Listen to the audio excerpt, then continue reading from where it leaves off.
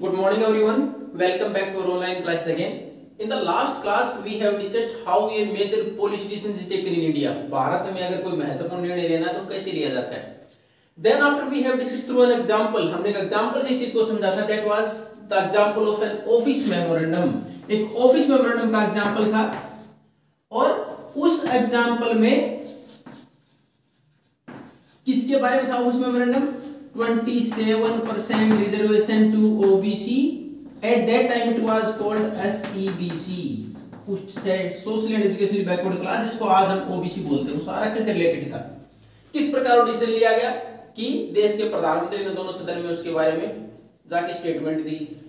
जब प्रेसिडेंट ने एड्रेस किया सेशन को तो उन्होंने सबसे पहले बोला कि the government intended to apply the recommendations of Mandal commission उसमें बोला गया था, एक आयोग बनाया गया था उसके लिए second backward class commission under and headed by BP Mandal that's why it was called Mandal आयोग उसकी रिकमेंडेशन के बारे में फिर हमने देखा था किस प्रकार पहले हमारे जो डिसीज़न लिया गया गवर्नमेंट के द्वारा, उसको फिर किस प्रकार इंप्लीमेंट किया गया। अब हमारे पास इन सारी चीज़ों को पढ़ने के बाद जो नेक्स्ट हमारा टॉपिक है कि किस प्रकार महत्वपूर्ण डिसीज़न लिया जाता उसमें हमने पार्लियामेंट की भूमिका देखी थी कि सबसे पहले जब एड्रेस किया गया पार्लियामेंट को तो प्रेसिडेंट के द्वारा तो उसमें बोला गया, फिर खुद देश के प्रधानमंत्री वीपी सिंह ने दोनों सदन में लोकसभा और राज्यसभा के अंदर इसकी स्टेटमेंट दी थी। उसके बाद उसके अंदर डिस्कशन हुआ और 13 अगस्त उन्नीस सौ नब्बे को पास कर दिया गया। अब हमारे पास है पार्लियामेंट अब पार्लियामेंट की अगर बात करें तो पहले तो हमने देखी कि why do we need parliament parliament की ज़रूरत क्या है? अब देखिए, जितनी भी डेमोक्रेसी है we are going to elect our representatives हम अपने प्रतिनिधि चुनते हैं। किसी भी देश में डेमोक्रेसी है।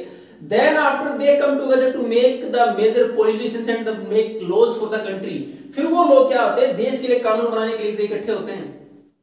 और वो क्या कहलाती है? लेजिस्लेचर विधायिका। जहाँ कानून बनते हो, विधान से संबंधित काम है, विधायिका लेजिस्लेचर उसको भारत में हमने पार्लियामेंट बोल दिया। दूसरे देशों में उसका कोई और नाम हो सकता है। फॉर एग्ज़ाम्पल अगर हम एग्ज़ाम्पल लें रशिया में ड्यूमा जर्मनी में रेचटेक उसके बाद अगर अमेरिका में सीनेट तो ये अलग अलग हमारे पास तो देशों के हैं अलग अलग नाम है पार्लियामेंट के, हमने पार्लियामेंट बोल दिया उसको।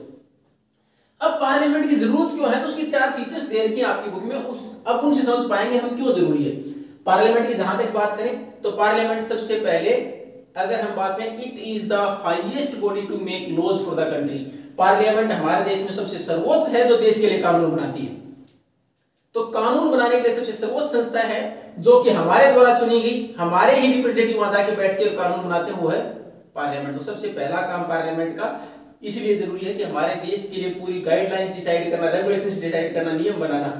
दूसरा इट कंट्रोल्स द गवर्नमेंट अब गवर्नमेंट को कैसे कंट्रोल करती है whatever decision has to be taken by the government सरकार के द्वारा कोई भी निर्णय लिया जाना है then he has to pass an proposal first in the parliament. पहले पार्लियामेंट में प्रस्ताव रखेगी, then after voting will be there, voting कराई जाएगी, and if it is passed, then after it will be implemented.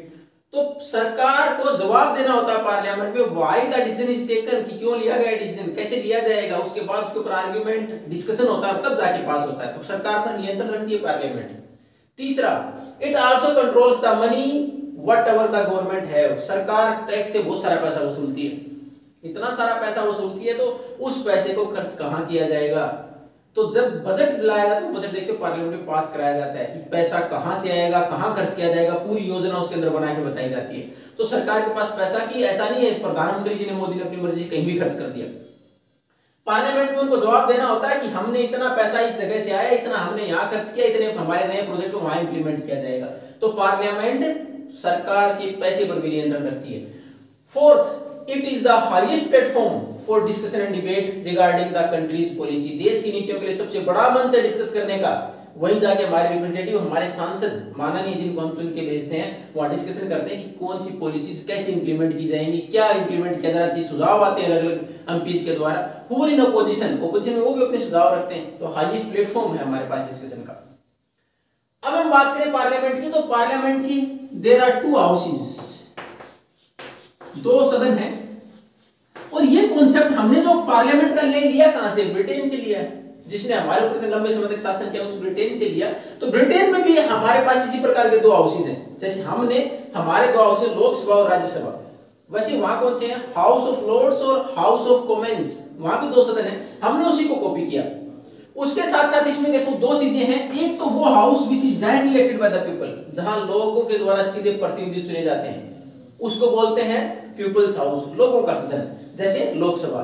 दूसरा होता है the members are indirectly elected by the different states अलग अलग स्टेट से आते हैं, जिसको हम काउंसिल ऑफ़ स्टेट्स भी बोल देते हैं, मंत्री, जो हमारे राज्य परिषद, जिसको हमारे भारत में राज्यसभा बोला गया, जिसमें मेंबर्स एमएलए चुनते हैं डिफरेंट स्टेट्स के।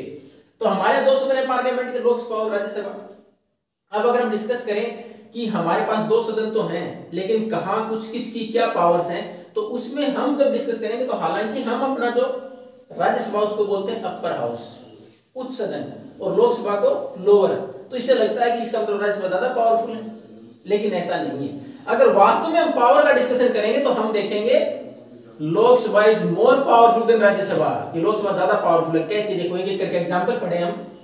First of all let's discuss the strength कि सबसे पहले स्ट्रेंथ देखें, किसमें मेंबर ज़्यादा है। तो हमारे लोकसभा मेंबर कितने हैं? 543 543 इलेक्टेड प्लस टू नॉमिनेटेड, हालाँकि टू नॉमिनेटेड हैं, इस गवर्नमेंट ने, बीजेपी गवर्नमेंट ने, ये टू नॉमिनेशन थे, इनको रद्द कर दिया कि अब फिर 543 जो इलेक्टेड है, वही काउंट होंगे।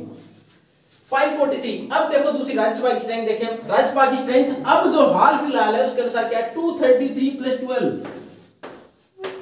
यानी 245 यानी 233 जो इलेक्टेड है डिफरेंट स्टेट से, और 12 है नॉमिनेट होते हैं प्रेसिडेंट के द्वारा।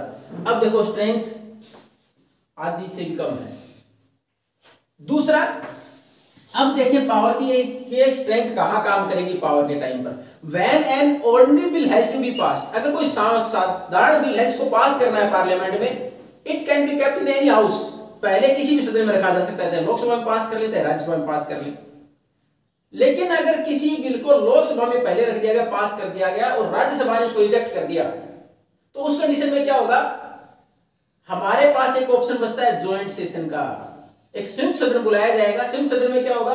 फिर वापस वोटिंग कराई जाएगी। तो हमने पहले बड़ा स्ट्रेंथ किसकी? पार्लियामेंट में किसकी ज़्यादा है, लोकसभा की स्ट्रेंथ ज़्यादा है तो उसके अनुसार पास हो जाएगा। अब दूसरा कारण कि हमारे यहाँ क्यों पावरफुल है? लोकसभा, राज्यसभा से। दूसरा कारण all the money bills are first kept in Lok Sabha and once passed by the Lok Sabha they can't be rejected by Rajya Sabha. It can delay for 14 days only दूसरी power देश का जो budget बनता है इतना सारा पैसा कि कहाँ टैक्स लगेंगे, कहाँ उसका इन्वेस्टमेंट किया जाएगा कौन से प्रोजेक्ट पर पैसा लगेगा, जो बजट पास होता है, वो पहले पार्लियामेंट में कौन सदन में रखा जाएगा? लोकसभा में। और लोकसभा ने एक बार उसको पास कर दिया, उसके बाद राज्यसभा उसको रद्द नहीं कर सकती। ओनली सजेस्ट कुछ सुझाव दे सकती है कि इसमें बदलाव हो, लेकिन उसको मानना it's not any boundation on the Lok Sabha. Lok Sabha कोई बाउंडेशन नहीं, उसको मान्य हो। नहीं मानती तो भी उसको लागू कर दिया जाएगा। Rajya Sabha can delay only 14 days Rajya Sabha केवल 14 डेज़ तक डिले कर सकती है, रोक नहीं सकती। अब तीसरा, तीसरी पावर अगर हम बात करें, लोकसभा क्यों पावरफुल है? तीसरी पावर ये है कि the leader of the majority of Lok Sabha Lok Sabha में जिसकी मेजोरिटी होगी, उसका जो नेता होगा, वो देश का प्रधानमंत्री होगा। जो लोकसभा की मेजोरिटी जिसके साथ होगी, उसकी सरकार बनेगी, उस पार्टी की, और उसका नेता ही देश का प्रधानमंत्री होगा। और कोई भी व्यक्ति जब तक उसके पास लोकसभा की मेजोरिटी है, तब तक मंत्री या प्रधानमंत्री रह सकता है। राज्यसभा के लिए ऐसी कोई कंडीशन लागू नहीं होती। तो ये हमारे पास दोनों हाउस हमने डिस्कस किए। पार्लियामेंट कि हमारे पार्लियामेंट है, वो किस प्रकार की इंस्टीट्यूट होती है कौन कौन से पार्ट है उसके, और किसकी क्या पावर्स है। In the next class we are going to discuss about the executives हम अगली क्लास में ये सारे डिसीज़न जब लिए जाते हैं तो इनमें पढ़ेंगे एग्जीक्यूटिव की। एग्जीक्यूटिव का काम है तो पार्लियामेंट का तो बनाना है legislature to make the laws अब इंप्लीमेंट करना किसका काम है? एग्जीक्यूटिव का काम है। तो नेक्स्ट क्लास में हम डिस्कस करेंगे कि ये एग्जीक्यूटिव कौन है जो इनको इंप्लीमेंट करते हैं। ये भी दो प्रकार के हैं पॉलिटिकल और permanent executive we are going to discuss in the next class if you have any doubt, then you can ask thank you and have a nice day